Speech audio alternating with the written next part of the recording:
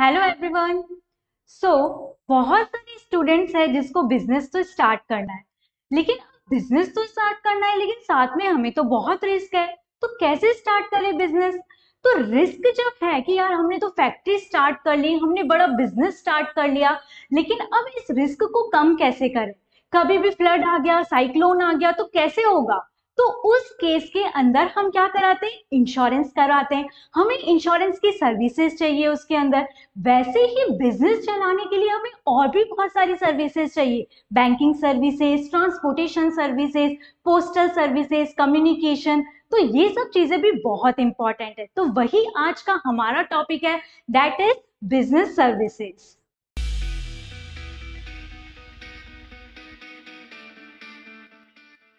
so let's start the chapter that is business services so सबसे पहले इसके अंदर हमारा क्या है? इंश्योरेंस सर्विसेज़ हम देखेंगे। इंश्योरेंस सर्विसेज़ क्या है? इंश्योरेंस नाम सबने सुना होगा क्या होता है, लेकिन हमें एक्चुअल नहीं पता इसका इंपॉर्टेंस क्या है। तो इंश्योरेंस एक तरीके से हम बोलते हैं, इसमें दो पार्टीज़ होती है जिसके बीच में अग्रीमेंट होता है। That is insurance and insuree insuree कौन हो गए? हम लोग हो गए जो हम इंश्योरेंस करवाते हैं और कंपनी को क्या बोला जाएगा? इंश्योरर बोला जाएगा। अब इंश्योरेंस हम क्यों कराते हैं? जैसे अगर हमारा बिज़नेस हम स्टार्ट करें तो हमें रिस्क रहता है कि कभी भी साइक्लोन आ सकता है अर्थक्वेक आ सकता है फायर आ सकता है तो उस केस में क्या होगा? मेरा पूरा बिज़नेस डिस्ट्रॉय मैंने अभी तक जो मेहनत की, उसका क्या? तो उस केस के अंदर इंश्योरेंस कंपनी होती है जो हमारे लॉस को कंपनसेट करती है। मैं ये नहीं बोलती कि इंश्योरेंस कंपनी क्या करती है? रिस्क कम करती नहीं, ये तो नेचुरल है। ये तो कभी भी आ सकता है ना। तो क्या इंश्योरेंस कंपनी आपको ये गारंटी देगी कि साइक्लोन नहीं आएगा? नहीं मैम कैसे बातें कर रहे हो? ऐसे तो हो ही नहीं सकता। तो वही चीज़ है कि रिस्क कम नहीं कर सकती, लेकिन आपके फाइनेंशियल लॉस को क्या कर सकती है? कम कर सकती है। जितना हमारा लॉस होता है, उतना हंड्रेड परसेंट नहीं बट हम बोल सकते हैं एट्टी टू नाइन्टी परसेंट क्या करेगी? कंपनी हमें कंपनसेट कर देती है। तो उसे ही बोला जाता है इंश्योरेंस जैसे हम हमारी फैक्ट्री का ऑफ़िस का बिज़नेस का इंश्योरेंस कराते हैं, वैसे हम देखेंगे वेरियस टाइप्स ऑफ़ इंश्योरेंस होते हैं जो कि हम आगे देखने वाले हैं। तो क्लियर है इंश्योरेंस एक बार हम इसका मीनिंग डेफिनेशन देख लेते हैं क्या दिया है। That is insurance refer to that return contract agreement between two parties, जो मैंने कहा ये दो पार्टीज़ के बीच में होगा डेट इज़ इंश्योरर और insuree through which insuree pays the premium इसमें आपको क्या करना पड़ेगा? अगर मैं इंश्योरेंस करवा रही हूँ तो मुझे इस केस में प्रीमियम पे करना पड़ता है। ईयरली प्रीमियम आपको पे करना पड़ेगा। ये डिपेंड करेगा कि आप कौन सी पॉलिसी ले रहे हो, कितने टाइम के लिए ले रहे हो, इसमें कितना रिस्क है, उसके अकॉर्डिंग क्या होगा? प्रीमियम डिसाइड होता है। And as against getting an undertaking from the insurer that he will be compensated as per the risk covered and the amount decided for the financial loss तो जैसे ही आपका amount decided है, उसके according आपका क्या होगा? यहाँ पे कंपनसेशन दिया जाएगा, जो कि इंश्योरेंस कंपनी टाइम्स पे दे देगी। क्लियर है? तो इंश्योरेंस का मतलब आप लोग को आई थिंक क्लियर हो गया। ये बस एक अग्रीमेंट है बिटवीन द टू पार्टीज़ जब भी लॉस होगा तो उस केस में आपको, आपके रिस्क का जो भी लॉस हुआ है, उस केस में आपको कंपनसेशन दिया जाएगा। क्लियर ना, हमने इंश्योरेंस देख लिया। अब इंश्योरेंस की कुछ प्रिंसिपल्स हैं।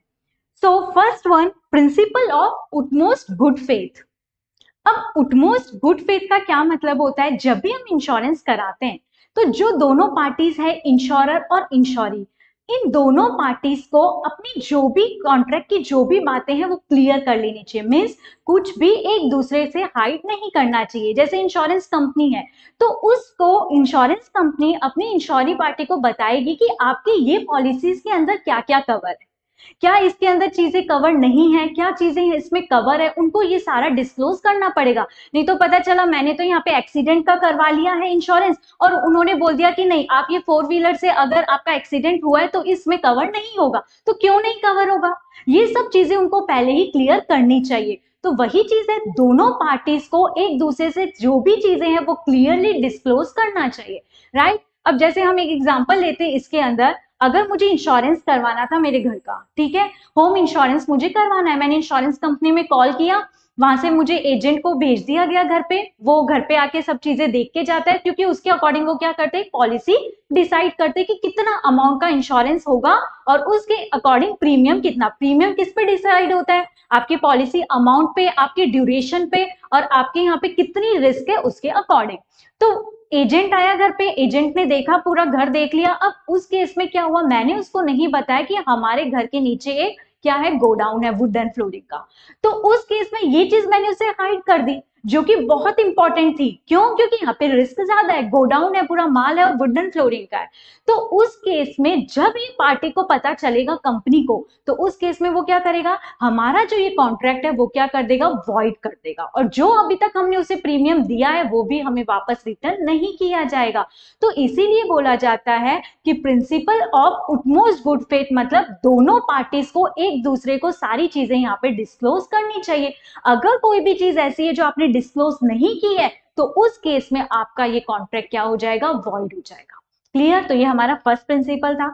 सेकेंड है प्रिंसिपल ऑफ़ इंडेमिनिटी इसका क्या मतलब होता है कि अगर जैसे मैंने जितना इंश्योरेंस पॉलिसी यहाँ पे, मैंने जो भी पॉलिसी यहाँ पे करवाई है, जितने अमाउंट की मैंने यहाँ पे पॉलिसी करवाई है तो उस केस के अंदर जितना मेरा डैमेज हुआ है, मैं उतना ही रिकवर कर सकती हूँ।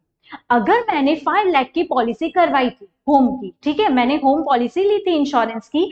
उस केस के अंदर अगर मेरे यहाँ पे कुछ भी होता है साइक्लोन आता है अर्थक्वेक आता है, कुछ भी आता है तो उस केस के अंदर डैमेज तो मेरा थ्री लैक्स का ही हुआ। तो कंपनी मुझे थ्री लैक्स तक ही कंपनसेट करेगी। उससे ज़्यादा कर सकती है, नहीं कर सकती, और ना मैं क्लेम कर सकती हूँ कि जितना मेरा रिस्क है यहाँ पे, जितना मेरा लॉस हुआ है, उससे ज़्यादा मैं बेनिफिट नहीं ले सकती। उसे बोला जाता है इंडेमिटी क्लियर है? जितना आपका रिस्क था, जितना आपने यहाँ पे लॉस बैर किया है, उतना ही आपको कंपनी देगी, उससे ज़्यादा आपको नहीं देगी। Then next is insurable interest अब इसका क्या मतलब होता है? जहाँ पे मेरा खुद का फाइनेंशियल इंटरेस्ट है, जैसे अगर घर मेरा खुद का है तो इसमें मेरा इंटरेस्ट है। लेकिन अगर घर मैंने रेंट पे लिया है तो क्या उसमें मेरा इंटरेस्ट रहेगा? नहीं, क्योंकि अगर फ्यूचर में कुछ होता है यहाँ पे, कुछ डैमेज होता है, कुछ फायर आता है, कुछ फ्लड आता है तो उसमें मैं बोलूँगी मेरा नुकसान नहीं है। इसमें नुकसान किसका होगा? ओनर का होगा, क्योंकि घर मेरा नहीं है। लेकिन अगर मैं बोलूँगी मेरा घर है तो उसमें मेरा फाइनेंशियल लॉस होगा ना? तो वो वही चीज़ बोल रहा है इंश्योरेबल इंटरेस्ट मतलब क्या हुआ? जहाँ पे आपका खुद का फाइनेंशियल लॉस होता है। तो वही चीज़ है कि क्या ऐसे हो सकता है कि मैं मेरे नेबर का नेबर के कार का इंश्योरेंस करवा लू? नहीं, अगर उसकी कार ठुकेगी तो इसमें मेरा क्या नुकसान है? है मेरा कुछ लॉस नहीं है। तो वही चीज़ वो बोल रहा है कि जहाँ पे आपका इंटरेस्ट है, जहाँ आपका फाइनेंशियल लॉस हो रहा है अब वहीं पे क्या करवा सकते हो? अपना इंश्योरेंस करवा सकते हो। Clear and last is subrogation subrogation means आप एडिशनल बेनिफिट नहीं ले सकते। जैसे अगर मैंने कहा कि मेरा कार डैमेज हुआ और मैंने कार का इंश्योरेंस लिया था, ठीक है? तो कार एकदम बुरी तरह ठुक गई, कुछ बचा ही नहीं उसमें। तो उस केस में क्या होगा? कि मैंने तो क्या किया? कंपनसेशन ले लिया। इंश्योरेंस कंपनी ने मुझे कंपनसेशन दे दिया। बट उस केस में इंश्योरेंस कंपनी क्या बोलेगी कि आप, जो आपकी कार थी, वो हमारे पास दे दो। मतलब हमारे पास आप ट्रांसफ़र कर दो। भले से वो कौन सी भी हालत में हो। क्यों? क्योंकि उन्हें ये डर रहता है कि आप वो जो कार थी, जो कि ठुक गई बुरी तरीके से, उसे एज ए स्क्रैप सेल करोगे और कुछ ना कुछ बेनिफिट ले लोगे। और ऐसा होता भी है कि अगर पूरी डैमेज हो गई, हमें तो इंश्योरेंस कंपनी ने क्लेम दे दिया। लेकिन जो गाड़ी हमारी ठुकी थी, उसका क्या? तो हम उसे सेल करके स्क्रैप में अमाउंट ले लेते। तो वही वो बोल रहा है इंश्योरेंस कंपनी बोल रहा है कि ये एक प्रिंसिपल है सप्रोगेशन का, जिसमें आप एडिशनल बेनिफिट नहीं ले सकते। क्योंकि आपका जो भी क्लेम था, वो आपने रिकवर कर चुके आप तो उसके बाद आप ले रहे हो तो वो एक गलत चीज़ है, जो कि प्रिंसिपल के अगेंस्ट जा रहा है। तो सप्रोगेशन नहीं बोलता है, ऐसा कोई फुल्ली डैमेज है, कब होगा लेकिन ये प्रिंसिपल कब लगेगा? जब आपका जो भी आपने यहाँ पे असेट आपका जो भी बिज़नेस जो भी आपने असेट्स यहाँ पे क्या करवाया है? इंश्योरेंस करवाया है और वो अगर फुल्ली डैमेज हो गया है, उस केस में आप ओनरशिप दोगे। जब आपका फुल्ली डैमेज होगा, जब ही दे सकते हैं ना तो उसी केस में वो बोल रहा है फुल्ली डैमेज होगा तो ये प्रिंसिपल आपका लगेगा। तो ये हमने यहाँ पे फोर टाइप्स ऑफ़ प्रिंसिपल्स देखे। That is most good faith indemnity subrogation and insurable interest clear now next is types of insurance अब इंश्योरेंस के बहुत सारे टाइप्स है। जैसे यहाँ पे फ़र्स्ट दिया है हमें life insurance and general insurance life insurance को भी दो पार्ट्स में कैटेगराइज किया गया है। First is whole life insurance and second is endowment insurance अब ये क्या होता है? होल लाइफ इंश्योरेंस में क्या होता है? कि जैसे इस केस में अगर पर्सन की डेथ होती है, तभी आपको फुल अमाउंट दिया जाएगा। उससे पहले नहीं दिया जाएगा। When a person dies we will get the amount of policy that is whole life insurance policy और जब हम सेकंड बात करते हैं एंडोमेंट की तो उस केस में क्या हुआ कि मैंने जाके क्या करवा दिया? ट्वेंटी ईयर्स का मैंने पॉलिसी ले लिया लाइफ इंश्योरेंस का। अभी ट्वेंटी ईयर्स के केस में क्या होगा? अगर ट्वेंटी ईयर्स के अंदर मेरी डेथ होती है तो उस केस में वो अमाउंट किसको मिल जाएगी? मेरे नॉमिनी को मिल जाएगी, मेरा जो भी लीगल हेड था उसको मिल जाएगी। लेकिन अगर ट्वेंटी ईयर्स में डेथ नहीं होती है तो वो फुल अमाउंट किसको दे दिया जाएगा? मुझे दे दिया जाएगा। डेट इज़ इंडोमेंट पॉलिसी तो ये दोनों में डिफरेंस है कि लाइफ इंश्योरेंस पॉलिसी जो थी हमारी होल लाइफ में इस केस में तो जब डेथ होती तभी अमाउंट दिया जाएगा। बट एंडोमेंट के अंदर आपका एक फिक्स पीरियड है कि 20 इयर्स की मैंने पॉलिसी करवाई है 30 इयर्स की मैंने पॉलिसी कराई है उसके अकॉर्डिंग उस टाइम पीरियड में अगर आपकी डेथ होती है तो ठीक है नहीं तो फुल अमाउंट आपको दे दिया जाएगा। क्लियर देन जनरल इंश्योरेंस अब जनरल इंश्योरेंस के अंदर कुछ पॉलिसीज़ दी गई है। That is first one is goods transportation insurance अब ये जनरल इंश्योरेंस के अंदर क्या होता है? हम बोलते हैं, ज़्यादातर ये बिज़नेस वाले जो होते हैं, उनके लिए ये पॉलिसीज़ है।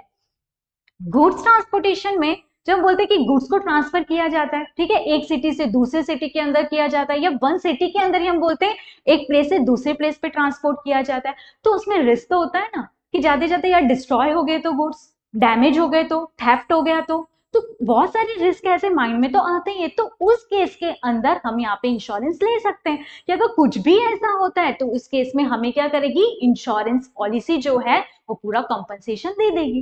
क्लियर तो वही चीज़ यहाँ पे दिया। देखो, सबसे पहले हमें यहाँ दिया है डेट इज़ मैराइन इंश्योरेंस अब ये क्या हो गया? सी रूट से। कि अगर हम सी रूट के थ्रू क्या कर रहे हैं? ट्रांसपोर्टेशन ऑफ़ गुड्स कर रहे हैं। ये बहुत ओल्डेस्ट रूट है जो हम बोलते हैं कि बहुत स्टार्टिंग से ये जो था कि by sea route goods transport होते थे। तो वही चीज़ है कि अगर हम पानी के थ्रू दे रहे हैं, पानी के थ्रू हम ट्रांसपोर्टेशन कर रहे हैं तो उस केस के अंदर भी डैमेज होने का डर रहेगा। तो हम ये इंश्योरेंस करवा सकते हैं।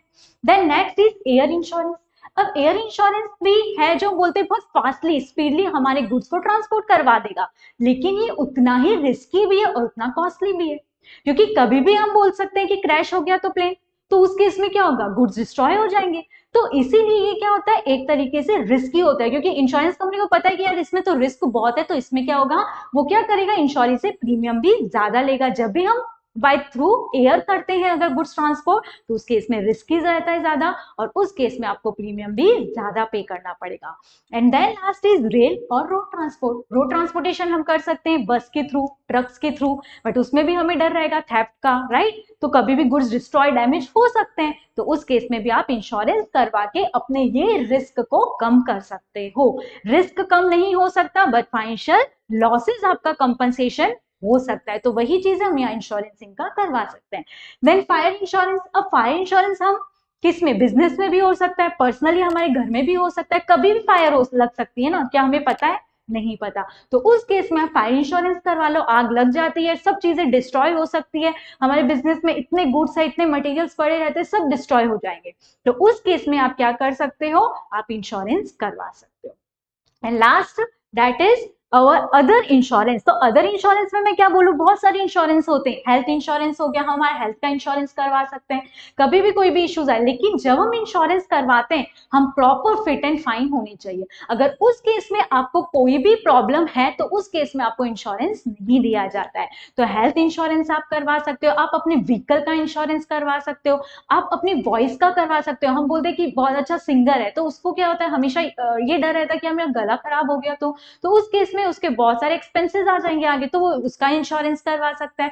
तो कहीं भी हमें लॉसेस का कभी भी ऐसे रहता है कि इस चीज़ में हमें फाइनेंशियल लॉस हो सकता है, उस केस में हम क्या करवा सकते हैं? हम उसका इंश्योरेंस करवा सकते हैं। वही चीज़ है हमारी अदर जनरल इंश्योरेंस के क्लियर है? आई थिंक सो ये आपको क्लियर हो गया है पूरा चार्ट कि इसमें कौन सी इंश्योरेंस हमने लाइफ एंड जनरल इंश्योरेंस में डिटर्मिनेशन हमने देखी अलग अलग क्या okay now IRDA insurance regulatory and development authority अब ये क्या है?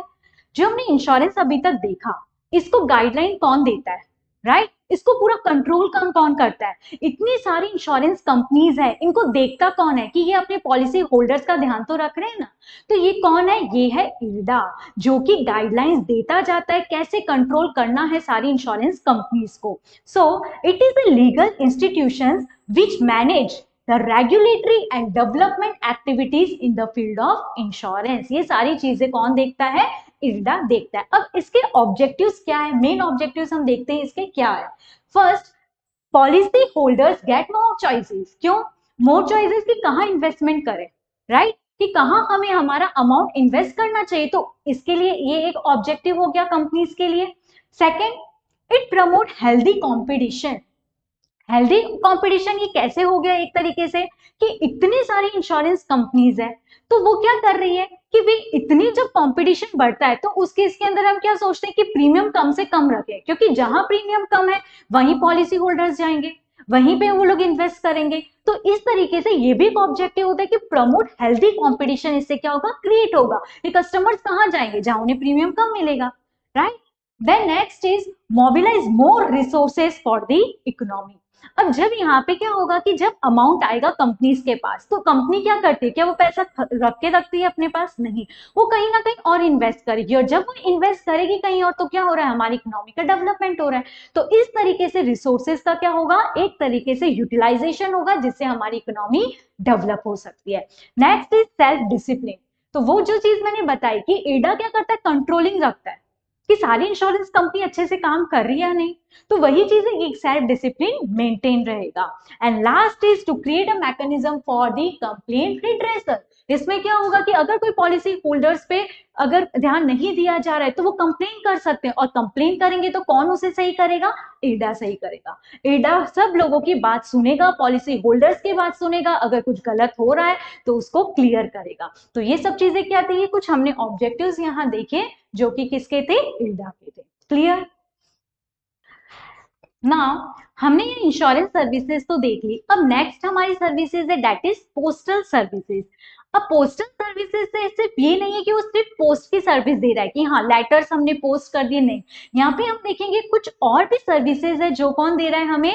पोस्टल सर्विसेज़ हमें देता है। देखते क्या क्या है? सबसे पहले है जनरल पोस्ट एंड लेटर जो हम बहुत स्टार्टिंग से देखते आ रहे हैं कि क्या होता है कि पोस्ट कार्ड के अंदर हम देखते हैं कि क्या हमने पहले वो देखते थे, एक ब्राउन कलर का एक बॉक्स होता था, वहाँ जाके हम कुछ भी लेटर रहता था, वो पोस्ट कर देते थे। हमें दूसरे सिटी में करना है, अगर पोस्ट तो हम करते थे तो तो जनरल हम सबको ही पता है। तो वो क्या था? जनरल पोस्ट एंड लेटर्स तो ये सर्विसेज़ दी जाती है।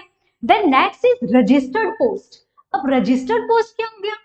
जनरल पोस्ट में तो ठीक है, हमें लेटर भेजना था, हमने लेटर लिख दिया एंड हमने वो ब्राउन बॉक्स में डाल के आ जाते थे और वहाँ पे हमारा क्या हो जाता था, जहाँ पे ट्रांसफ़र करना है, वो ट्रांसपोर्ट हो जाता था। अब रजिस्टर्ड में क्या होता था, जैसे अगर मुझे किसी को भेजना है तो मैंने उसमें रजिस्टर्ड करके, मैंने उसमें जो लेटर था वो पोस्ट कर दिया। लेकिन रजिस्टर्ड में क्या होता है? एक्नॉलेजमेंट मिलता है कि हाँ रिसीवर को लेटर पहुँच गया है। दैट इज़ रजिस्टर्ड पोस्ट तो इसमें थोड़ी से चार्जेस जो होते हैं, वो ज़्यादा होते हैं। जनरल में हम देखें नॉमिनल चार्जेस होते हैं। नॉर्मल मतलब उसके अंदर हम देखते हैं कि वो स्टैंप लगता है तो वो उसमें स्टिक किया जाता है तो उतने नॉमिनल चार्जेस होते हैं। बट रजिस्टर्ड के थोड़े से चार्जेस हाई होते हैं। Then next is parcel services अब पार्सल सर्विसेज़ क्या हो गया? जैसे हम लेटर्स भेजते हैं राइट तो उस केस में हम देखते हैं पार्सल्स हमें कुछ भी गुड्स अगर भेजने रहते तो उस केस में हमें ये सर्विसेज़ भी दी जाती है by the poster right right? कि कुछ भी अगर हमें गुड्स वगैरह सेंड करने, कहीं ट्रांसपोर्ट करना है तो अभी हमें बिजनेसमैन ये लोग भी क्या करते हैं? कोरियर सर्विसेज़ देते हैं तो क्या करते हैं? सब कुछ पोस्ट कर देते हैं, सारे जो भी उनको गुड्स कहीं दूसरे सिटी में देने तो ये सब चीज़ें क्या है? डेट इज़ पार्सल सर्विसेज़ अब पार्सल सर्विसेज़ के अंदर हम ये देखते हैं कि कोई दूसरे जो वैल्यूएबल गुड्स होते हैं जैसे हम गोल्ड सिल्वर ये सब की फैसिलिटीज़ भी आजकल दी गई है। ये जो हमारे पोस्टल सर्विसेज़ देते हैं इसके अंदर ये बहुत आ, मतलब वैल्यूएबल गुड्स को भी ट्रांसपोर्ट किया जाता है बट वही है उसके चार्जेस बहुत ज़्यादा हाई होंगे। Then next is speed post अब स्पीड पोस्ट के अंदर क्या है? जब हम बोलते हैं कि जब हमें जनरल पोस्ट करते हैं हम तो उसके अंदर जनरली थ्री फोर डेज़ लग जाते हैं जहाँ भी हमें भेजना है। बट स्पीड पोस्ट में मुझे कहा यार, मुझे तो नेक्स्ट डे ही भेजना है ये। नेक्स्ट डे ये पार्सल वहाँ पहुँचना चाहिए। तो कैसे पहुंचेगा? बाय स्पीड पोस्ट क्लियर इसकी थोड़ी सी रेट ज़्यादा होगी। वो तो वो नहीं, आपको जितनी अच्छी सर्विस मिलेगी, उस केस में आपको रेट भी थोड़े से ज़्यादा बैर करने पड़ेंगे। देन एक्सप्रेस पार्सल अब एक्सप्रेस से नाम समझ में आ रहा है कि ये और ज़्यादा एक्सप्रेस है। मतलब ये और जल्दी हमें गुड्स को वहाँ पहुँचा देगा डिलीवर कर देगा। तो जब आपको स्पीड पोस्ट से भी ज़्यादा फास्ट चाहिए तो उस केस में आप एक्सप्रेस को यूज़ कर सकते हो कि आपको अगर अभी आपने पोस्ट किया, आप चाहते हो कि शाम तक मिल जाए तो वो आपको एक्सप्रेस वाला कर देगा पोस्ट दैट इज़ ट्रांसपोर्ट कर देगा आपके गुड्स को। Then next is saving services अब सेविंग सर्विसेज़ ये कहा हम क्या पोस्टल सर्विसेज़ के अंदर। ये तो कोई बैंकिंग की सर्विस लग रही है है ना? तो वही चीज़ है कि अब पोस्टल सर्विसेज़ के अंदर सिर्फ़ पोस्ट की नहीं बैंकिंग सर्विसेज़ भी स्टार्ट हो गई है। हम देखेंगे यहाँ सेविंग सर्विसेज़ यहाँ पे एफडी रिकरिंग अकाउंट ये सब भी यहाँ पे ओपन होने लग गए। तो ये सारी बैंकिंग सर्विसेज़ भी हम बोलते हैं, यहाँ पे स्टार्ट होने लगे तो सेविंग सर्विसेज़ कि अगर मेरे पास सरप्लस अमाउंट पड़ा है, जो जो हम बोलते हैं कि हम बैंक में डिपॉजिट करते हैं तो उसी केस में हम यहाँ पे भी इसे क्या कर सकते हैं? डिपॉजिट कर सकते हैं और वैसे ये हमें क्या देगा? इंटरेस्ट देगा राइट तो हो गया saving services then recurring deposit recurring deposit जो हम बोलते हैं कि हमें क्या करना पड़ता है इसके अंदर? मंथली आपको एक अमाउंट है, जैसे फाइव थाउज़ेंड का अमाउंट है। तो मैं क्या करूँगी? मंथली में ये अमाउंट क्या करूँगी? डिपॉजिट कर दूँगी। तो उस केस के अंदर मुझे मंथली ये डिपॉजिट करना है और फिर एक टाइम के बाद ड्यूरेशन के बाद मुझे क्या मिलेगा? विद इंटरेस्ट पूरा अमाउंट मिल जाएगा। That is recurring amount but इसके अंदर वही चीज़ है, आपको मंथली फिक्स्ड अमाउंट डिपॉजिट करना पड़ता है। Clear then next is term deposit अब टर्म डिपॉजिट जो हम बोलते हैं एफडी जो आप बैंक में डिपॉजिट करते हो फिक्स डिपॉजिट तो वैसे ही टर्म डिपॉजिट है फाइव ईयर्स के लिए। मैंने यहाँ पे क्या कर दिया?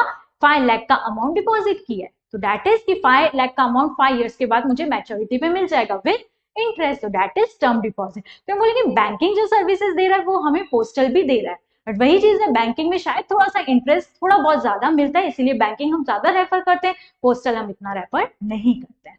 क्लियर अब कुछ और भी सर्विसेज़ है, वो क्या है? देखते हैं हम। So now next is national saving certificate NSC अब ये क्या है? एक तरीके का ये इन्वेस्टमेंट है कि इसे हम क्या करते हैं? इसे हमें परचेज करना पड़ता है। जैसे हम शेयर्स डिवेंचर्स ये सब परचेज करते हैं इन्वेस्टमेंट के लिए तो वैसे ही एनएससी होता है, जिसे क्या किया जाता है? परचेज किया जाता है। हमने परचेज कर लिया और उसके बाद इसका भी एक ड्यूरेशन होता है। आफ्टर फाइव ईयर्स हमें क्या हो गया कि मैंने क्या पाँच साल के लिए मैंने इन्वेस्टमेंट किया है। उसके बाद उसे मुझे क्या मिल जाएगा? इंटरेस्ट के साथ वो अमाउंट दे दिया जाएगा। डेट इज़ एनएससी हमें परचेज करना है। Then next is K V P that is Kisan Vikas Patra. तो इसके अंदर ये हमें किसान से ही समझ में आ रहा है, किसके लिए? फॉर फार्मर्स इसके अंदर फार्मर्स इन्वेस्ट करेंगे। जितना यहाँ पे उनको अमाउंट लगाना है, वो क्या करेंगे? यहाँ पे डिपॉजिट करेंगे। और उस केस के अंदर उनका जो अमाउंट रहेगा, वो डबल हो जाता है। जितने टाइम के लिए भी उन्हें यहाँ पे ड्यूरेशन उनका रहेगा, उसके बाद क्या होगा? उसका अमाउंट उनका डबल हो जाएगा।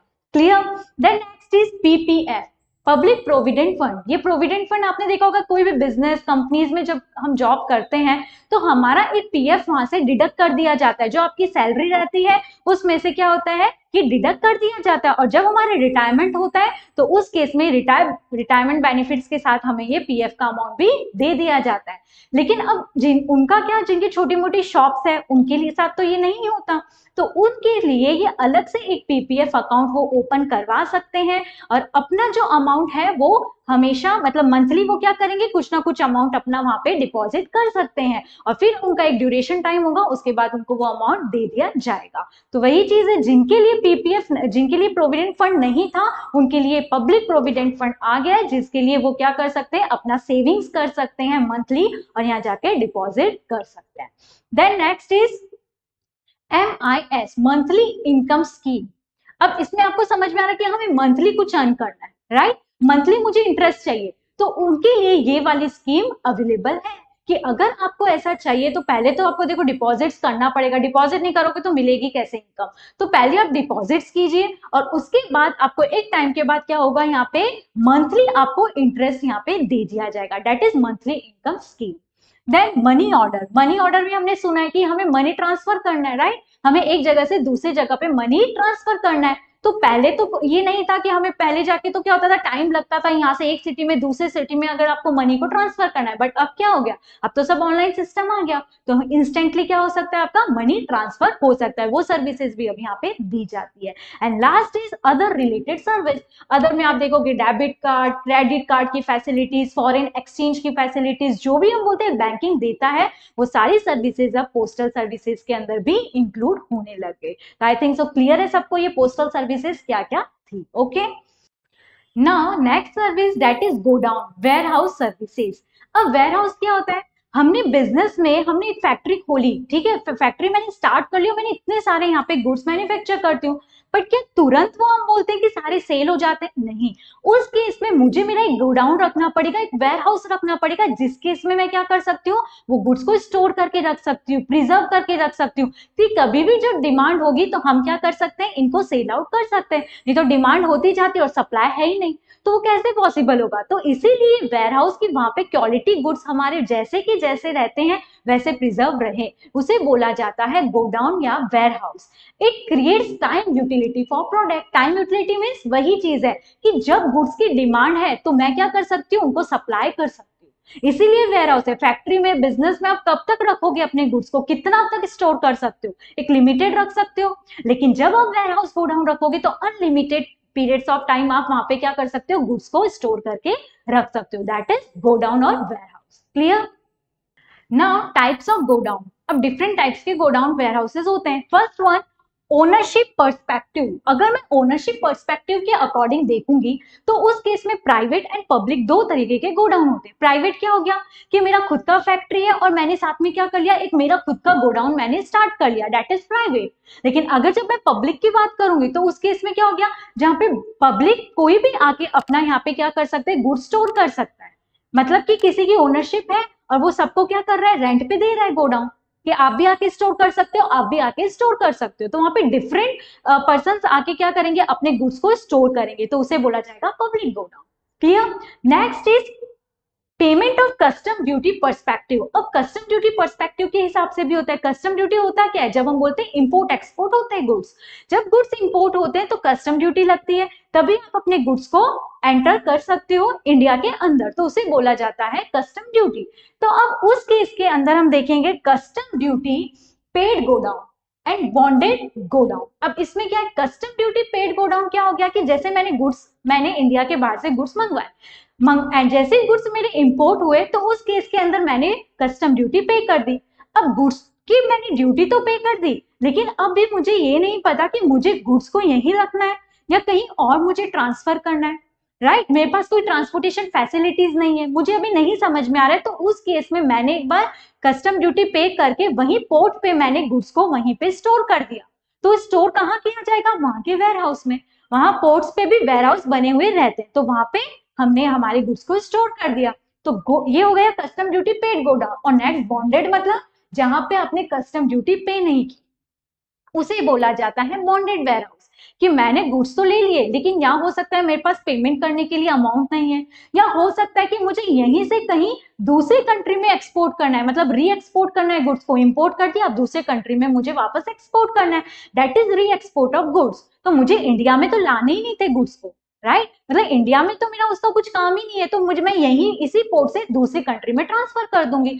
तो उस केस में भी हम क्या करते हैं, वहाँ पोर्ट पे हम वेयर हाउस के अंदर ही गुड्स को स्टोर करते हैं। लेकिन इसको बॉन्डेड क्यों बोला गया है? क्योंकि यहाँ पे हमने ड्यूटी पे नहीं की है। उसे बोला जाता है बॉन्डेड वेयर हाउस ठीक है? रीजन और भी कुछ हो सकते हैं। ये तो मैंने एक दो आपको एग्जाम्पल्स दिए कि ये एग्जाम्पल्स हो सकते हैं for the bonded warehouse ठीक है?